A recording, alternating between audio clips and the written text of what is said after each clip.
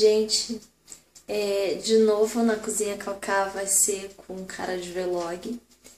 E, mas isso é até eu acertar os pontos, mas eu achei que eu não podia deixar de mostrar pra vocês como eu faço o cake pop. Que na verdade as minhas amigas também falaram, por favor, faça um vídeo sobre o cake pop. E enfim, é, não é que seja é, difícil, não é difícil, ele só é meio trabalhoso, sabe? Então, assim, eu usei, é, eu fiz um bolo, bolo pronto, daqueles que vem no pacotinho.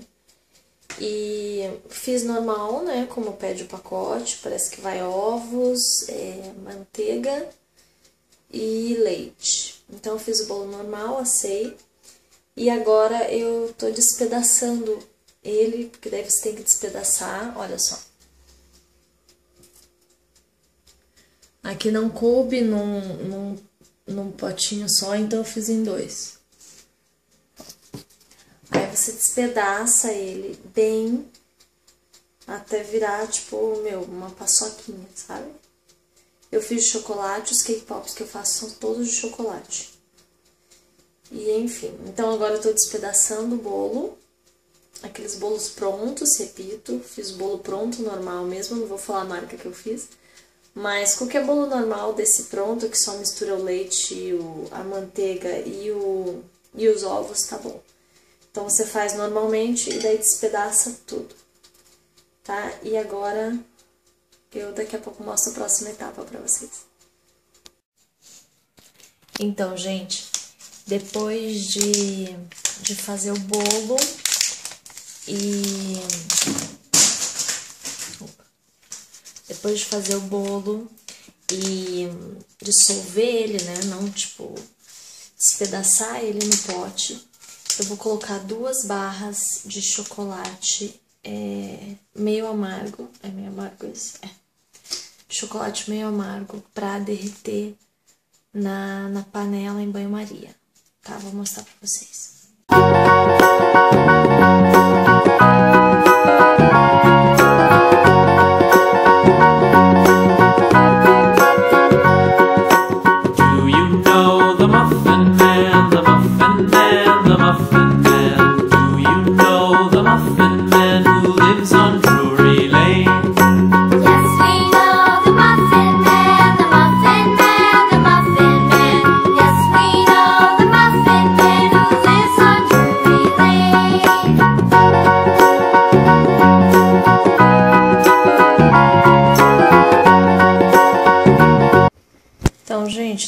dele totalmente das duas barras de chocolate meio amargo totalmente derretidas, eu adiciono o creme de leite. Uma caixinha pequena de creme de leite, dessas de 200 gramas. Eu coloco e daí mexo. Lembrando que essas duas barras, cada uma tinha 150 gramas, então deu um total de 300 gramas de chocolate meio amargo em barra, derretido no em banho-maria. E agora eu misturei uma caixa de 200 gramas pequenas de creme de leite. Caixa pequena, né? De creme de leite, 200 gramas. Agora eu vou mexer bem. Nessa hora você pode tirar do fogo e tirar do banho-maria também, que já não faz falta. Então, mistura bem até ficar super homogêneo. Ficou assim, então, um ganache, né? Que é aqui que tem as duas barras de 150 gramas cada uma de chocolate meio amargo, mais uma caixinha de 200 gramas de creme de leite. Então, a, o chocolate foi derretido em banho-maria. Aí depois eu tirei do banho-maria, desliguei o fogo misturei o creme de leite rapidinho. E ficou esse, esse creme assim. Esse creme eu vou misturar no bolo despedaçado que eu tava despedaçando ali. Então, vou misturar para vocês verem. Então, gente, como eu tive que colocar em dois potes, porque o bolo, o meu pote é pequeno, e o bolo. Não é que o bolo era muito grande, o bolo era normal, é o pote que era pequeno mesmo. Então eu tive que colocar em dois. separar em dois potes é, diferentes, né? Então eu vou colocando agora, agora eu vou colocando esse creme, eu vou colocar primeiro nesse pote branco aqui que eu tô despedaçando. Eu vou colocar esse creme, um pouco desse creme e vou mexendo. A ideia, desculpa, meus gatos estão brigando lá. A ideia é que ele fique uma massa que dê para você fazer bolinhas pequenininhas. Então, vou misturar esse creme aqui e é, vou manuseando, também tem que misturar naquela parte lá, e vou mexendo até que fique bolinhas que dê para enrolar. Eu já mostro para vocês o ponto que é direitinho. Então, gente, essa é a medida, ó, desculpa a bagunça, mas você vai misturando e, ó, eu, eu melequei tudo. Mas você vai misturando, né, a, aquele ganache com a massa do bolo e vai ficando essa essa consistência aqui, ó.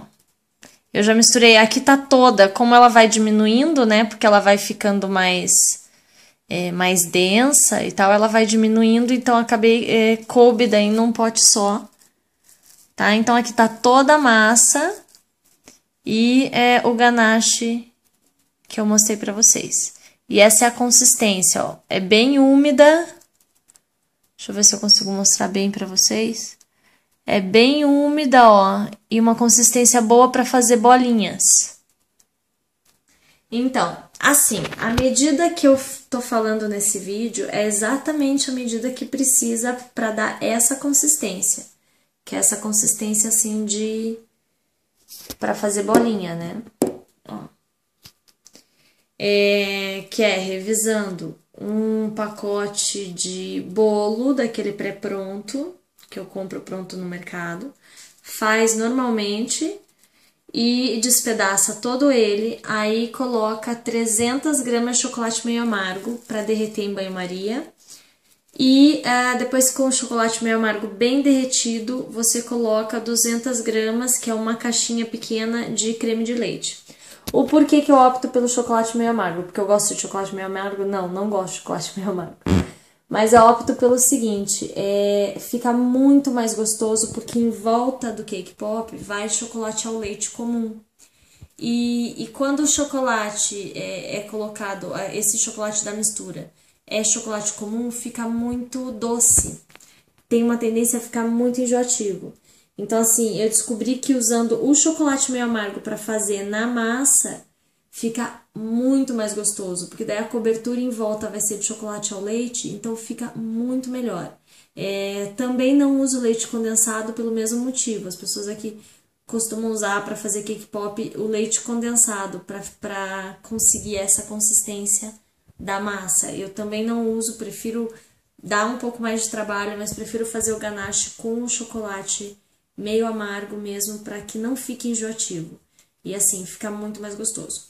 Agora é o seguinte, eu vou fazer bolinhas. Eu vou usar essa minha... Deixa eu mostrar pra vocês. Essa minha...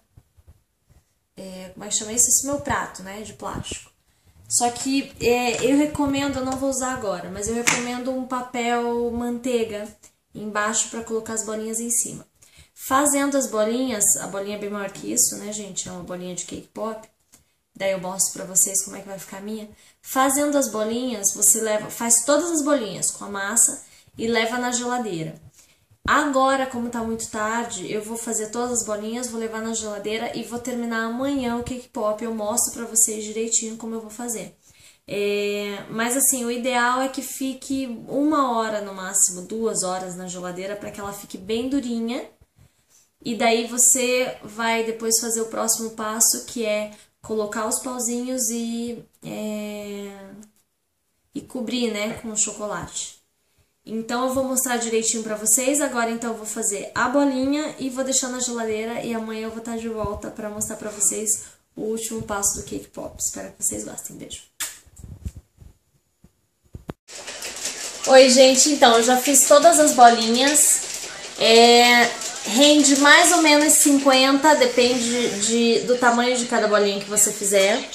É, eu coloquei todas elas nesse pratinho, né, que eu tinha mostrado.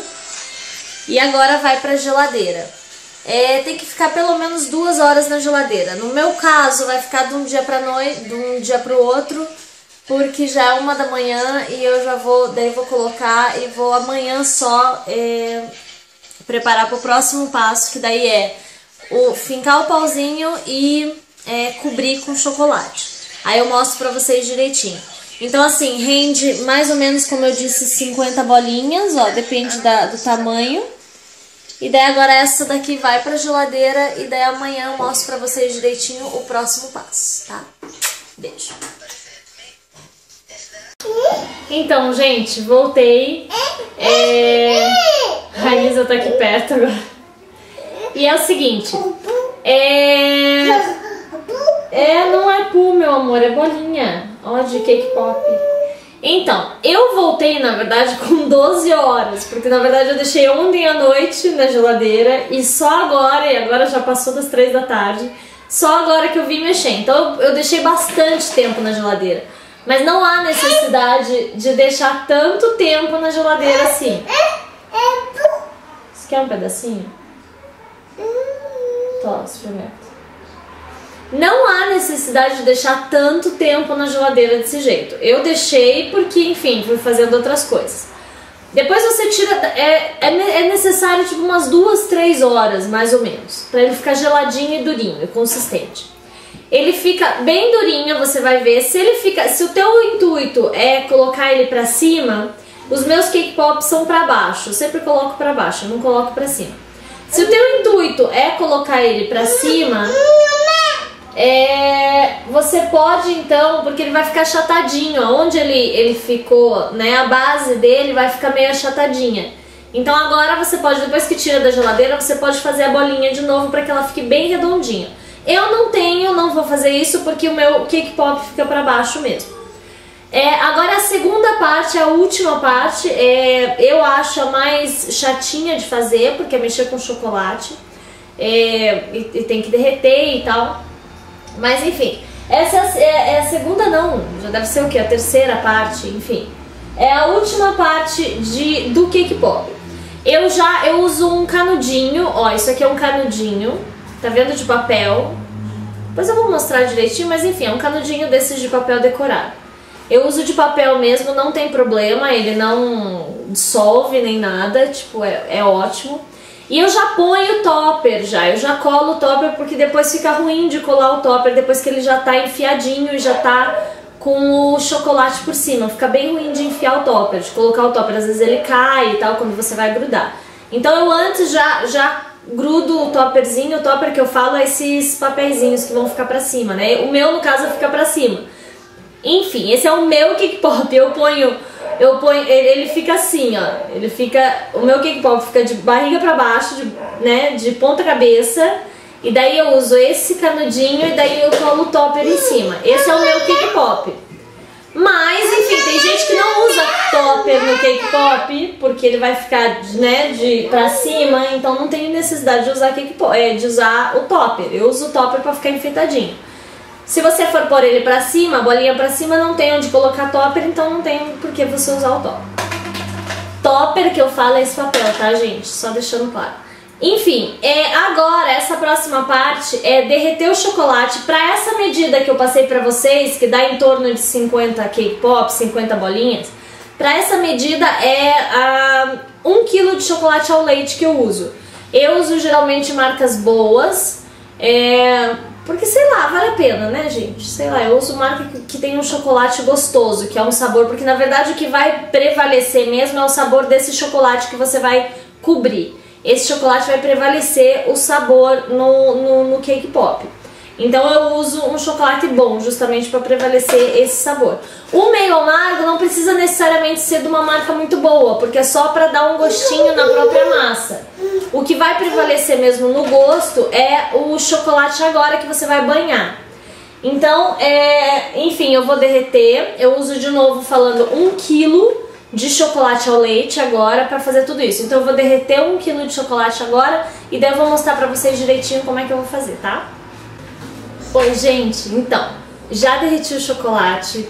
Assim, vou contar uma coisa pra vocês. É dificílimo fazer isso sem ficar se lambendo todo, sabe? Mas enfim, vou procurar não lamber tudo, enfim, para poder sair o cake pop. Então é o seguinte, é, agora com o pauzinho, você vai, ó, aqui estão as bolinhas, né? Agora com esse pauzinho, com o pauzinho que você vai fincar, pode ser pauzinho comum, daquele fininho, ou pode ser esses canudinhos. Eu acho mais bonito o canudinho. Aí você vai fazer o quê? Você vai mergulhar o canudinho no chocolate derretido, mergulhar bem, e daí vai enfiar aqui na bolinha, ó. Vai enfiar na bolinha, entendeu? E dela fica, ó, a bolinha com o canudinho, mas você tem que mergulhar todos os canudinhos antes de enfiar, você tem que mergulhar aqui no chocolate derretido. Lembrando que esse chocolate derretido é puro chocolate derretido, tá? Eu não misturei creme de leite, não misturei nada. Peguei a barra de um quilo, derreti, eu derreto em banho-maria, né? Porque eu não tenho, é, não tenho micro-ondas. Eu, na verdade, não gosto de micro-ondas, então eu tô bem sem micro-ondas. Porém, nessas horas eu sei que é mais fácil ter micro-ondas, né? Mas enfim, eu derreto em banho-maria. É... Só que é isso que eu falei, você, você não mistura nada, né? Você É o puro chocolate derretido. Depois que ele estiver bem derretido, você separa. Então, coloca, pega os pauzinhos e enfia. É só a pontinha, tá, gente? É só a parte que você vai enfiar mesmo na bolinha. Ó, vou mostrar pra vocês. Eu não sei se vocês estão enxergando, eu não posso fazer o zoom agora. Mas é só a pontinha, que é a parte que ele vai enfiar na bolinha, tá? Deixa eu pegar aqui um, um espaço branco. Ó, aí eu enfio, tá? Então fica assim. É... E assim você vai indo, vai fazendo com todas as bolinhas. Colocando aqui, enfiando em todas as bolinhas.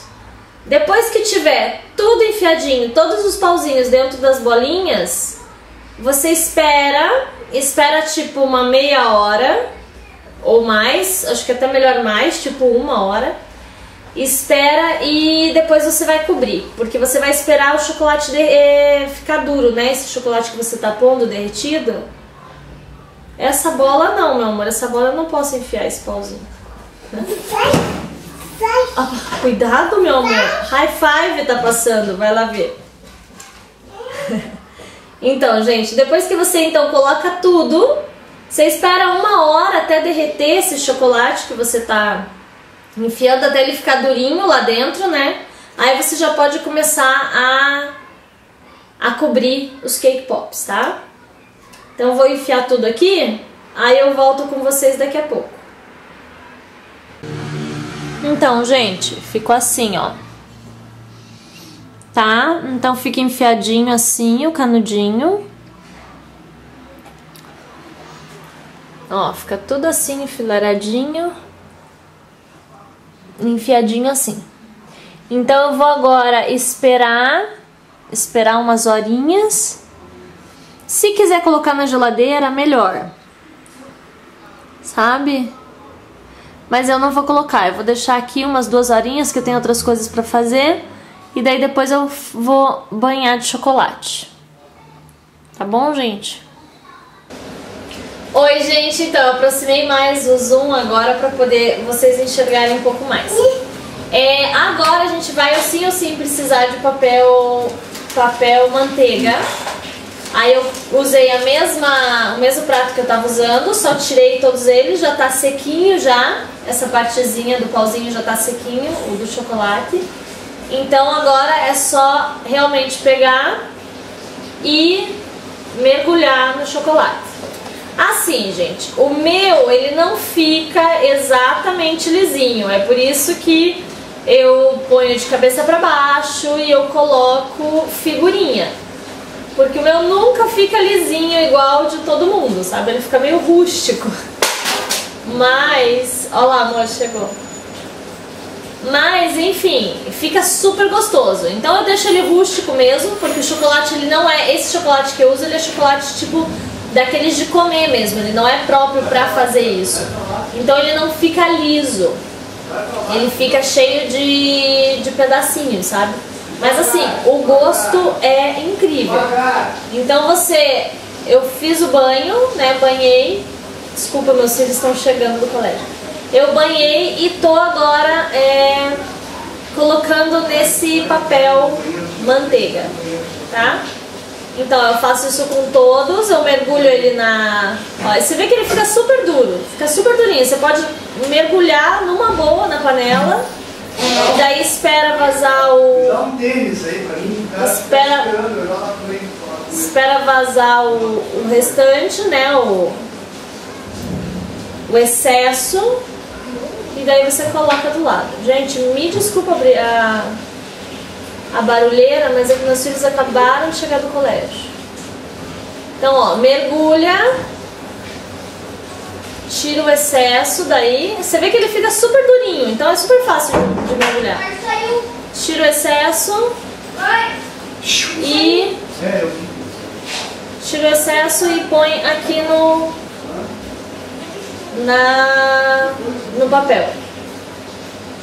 Ó, de novo, tô pegando um a um, tô pondo no na panela que já tá com chocolate derretido. Mergulho bem, cubro tudo. Aí tiro o excesso. Tiro o excesso, ó, deixo vazar um pouco para tirar todo o excesso do chocolate. E aí, ó, tiro todo o excesso Vinha pra cá, vinha pra cá. A mãe gravando. e coloco no papel. Entendeu? E assim eu vou fazendo com todos e daí eu vou mostrar pra vocês como vai ficar. É, foi o que eu falei, o meu não fica perfeito igual aqueles de, né? Mas assim, fica muito gostoso e daí eu achei uma outra maneira de enfeitar, que é colocar ele de cabeça pra baixo e colocar o papelzinho do tema da festa, né? No caso do meu é o Minecraft. Então assim, eu acho o melhor, o melhor assim, pra mim é mais seguro, eu fico meio insegura com aqueles cake pop de, de cabeça pra cima. E é, e como não fica, o chocolate que eu uso não é daquele lisinho, ele fica meio pelotadinho, então eu prefiro ele assim de cabeça pra baixo, que daí eu coloco numa forminha também, geralmente uma forminha de cupcake. Coloco dentro e pra mim fica bonitinho e fica bem. É isso, gente. Eu vou então terminar de fazer, daí eu mostro pra vocês como fica, tá?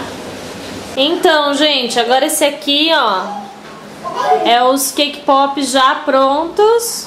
Nicolas, cuidado. Aí eu vou colocar agora na geladeira pra endurecer, ficar bem durinho e daí vou colocar depois num numa numa forminha de cupcake. Aí eu mostro pra vocês como ficou depois, tá, gente? Tá aí, já tá todos banhados. Não, de cupcake, brigadeiro não cabe. Nem daqueles brigadeirão. Não.